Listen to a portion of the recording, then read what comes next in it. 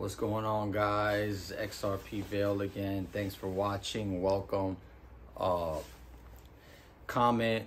Get this video to a thousand likes, thousand comments. Now let's get into it.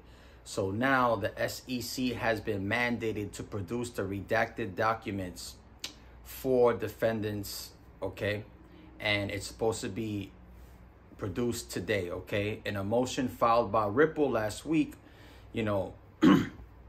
that they they requested more time and the time was uh was was granted right?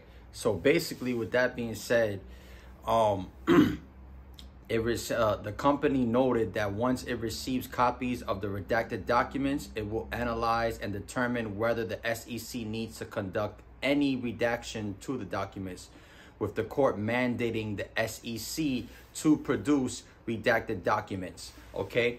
So the court is over here mandating that the SEC produced these documents that haven't been produced for the longest, you know, the documents that we were waiting for.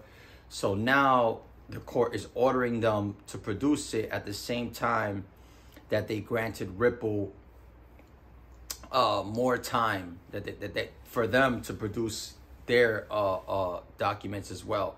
So at the same time that the, the court granted Ripple to produce their documents, the court ordered um, the SEC to produce the redacted documents, okay?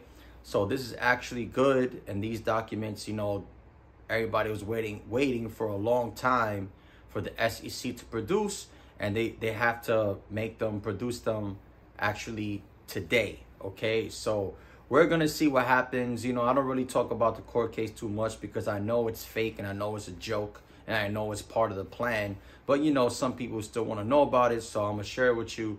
So we have to wait and see what happens after the court receives these uh these re redacted documents from the SEC, and then we'll all see what happens from there. And uh, who knows? Maybe the case can end a month from now, two months from now. It can end two weeks from now. You don't know when it can end. This is why you have to accumulate while you can because once we're at that point in time where XRP just explodes and it does a correction, a correction will be down to like $6 a coin after, let's say, if it explodes to $15 or $25, does a correction down to $8, and it's going to be too expensive for you to buy XRP. This is why you have to accumulate during the court case before it's all over. Well, this is just a quick update I wanted to share with you guys. And, uh, Thanks for watching. Leave a comment, leave a like. It's XRP Vale here. Hope everybody's having a good day. Peace out.